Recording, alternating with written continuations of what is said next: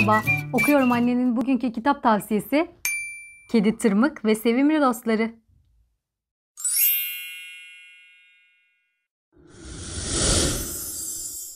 Kedi Tırmık ve Sevimli Dostları Sincap Kitap Yayınları tarafından çıkarılmış Bu Kocaman Gözler Kimin adlı serinin ilk kitabı.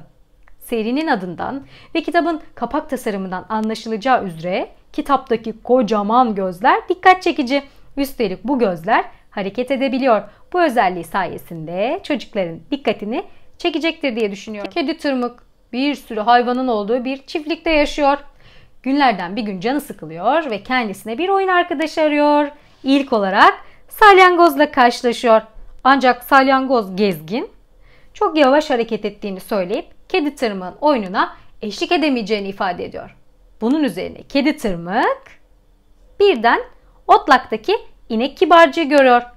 Ot yemekle meşgul olan inek kibarcık kocaman gözlerini bir sağa bir sola çevirerek onunla oyun arkadaşı olamayacağını ifade ediyor. Yoluna devam eden tırmıksa köpek hızlı pati ile karşılaşıyor. Hızlı pati çok meşgul olduğunu, sakladığı kemiği aradığını söylüyor. Tırmık hızlı pati ile de arkadaş olamıyor. Ancak pes etmiyor tırmık. Bakalım şimdi kiminle karşılaşıyor? Evet, tırmık şimdi çiftliğin Küheylan'ıyla karşılaşıyor. Küheylan'ı onunla oyun arkadaşı olmak istediğini söyleyince o da haydi koşalım bayılırım koşmaya diyor. Böylece tırmık kendisine Küheylan'ı oyun arkadaşı olarak buluyor. Evet kitabın hikayesi genel olarak bu şekilde.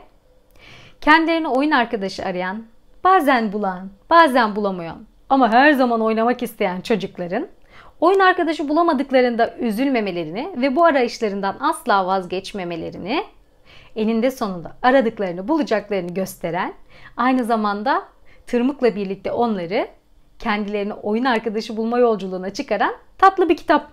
Bu gözlerden hiçbir çocuğun mahrum kalmaması gerektiğini düşünüyorum. Okuyacakları şimdiden keyifli okumalar.